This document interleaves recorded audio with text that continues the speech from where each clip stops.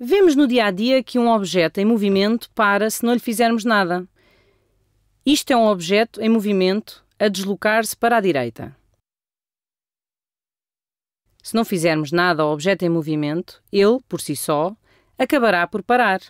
Por outro lado, se quisermos manter um objeto em movimento, teremos que lhe aplicar uma força continuamente. Nunca vimos, ao longo da vida, um objeto que se mantenha sempre em movimento sem que alguém lhe aplique alguma força. Acabará sempre por parar. Por isso é que, ao longo de boa parte da história da humanidade, talvez desde a pré-história, mas garantidamente desde a Grécia Antiga até ao início do século XVII, ao longo de pelo menos dois mil anos, assumia-se que os objetos têm uma tendência natural para parar. Os objetos tendem para o repouso ou a parar. E se quisermos manter o movimento, temos que lhes aplicar uma força.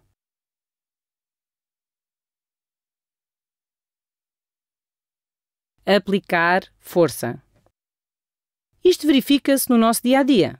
Entretanto, surgiram estes homens no século XVII. Talvez vos surpreenda eu mostrar retrato de três homens, uma vez que este vídeo é acerca da primeira lei do movimento de Newton. E um destes homens é, de facto, Sir Isaac Newton. Aqui está ele. Mas, a estes dois, devemos dar pelo menos o mesmo crédito que damos a Newton. Ambos descreveram aquilo que a lei de Newton descreve e fizeram-no antes dele. Este é Galileu Galilei. E este é René Descartes. Descreveram a lei de formas diferentes, mas foi Newton que ficou com os louros, porque a enquadrou num plano mais vasto com outras leis, como a lei da gravitação universal, leis essas que são a base da mecânica clássica. E parecia descrever, pelo menos até ao século XX, em boa parte o que nos rodeia. Então, mas afinal, em que consistia esta ideia revolucionária? Que na altura não era nada evidente, estamos a falar dos anos de 1600. A ideia foi a seguinte: os objetos tendem a manter a velocidade, a rapidez, a direção e o sentido. Talvez tendam a manter a velocidade.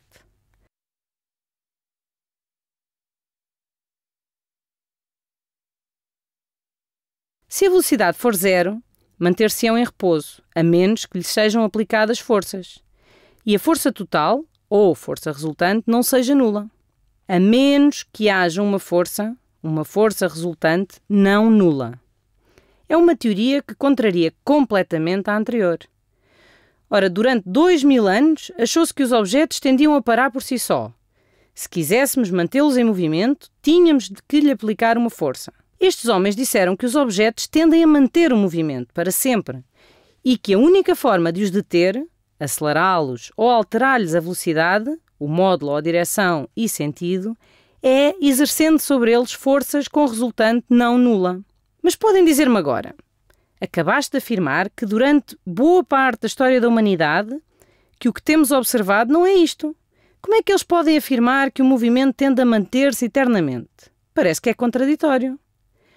A ideia revolucionária foi: talvez isto não tenda a parar por si, mas graças à interação com o meio envolvente, geram-se forças que contrariam os seus movimentos e que não se veem. Embora achemos que estamos a deixar o objeto mover-se sozinho, há uma força resultante que tenta pará-lo. Neste exemplo em particular, essa força, a força aplicada, é a do atrito. É devido à interação entre o bloco e a superfície.